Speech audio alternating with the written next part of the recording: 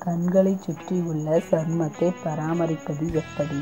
கருவளையங்கள் தொ- தொய்வடைந்த இமைகள் கண் முடிவில் சுருக்கங்கள் போன்ற இந்த பாதிப்பிலிருந்து முடிந்தவரை கண்ணை சுற்றிய சர்மத்தை பாதுகாக்க பின்வரும் அறிவுரையை கேளுங்கள்.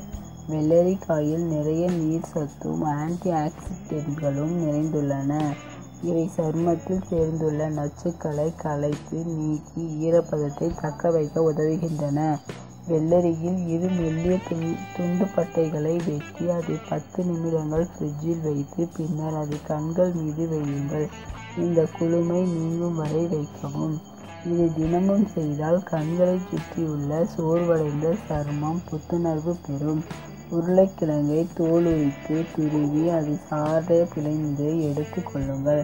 நீங்கள் தினமும் பயன்படுத்தும் இந்த கிரீன் டீ பைகள் ஆன்டி ஆக்சிடென்ட்கள் மற்றும் டேனின் மேல காணப்படுவதால் இவை உங்கள் தோய்ந்த கண்களுக்கு ஒரு வரப்பிரசாதமாக இருக்கும்.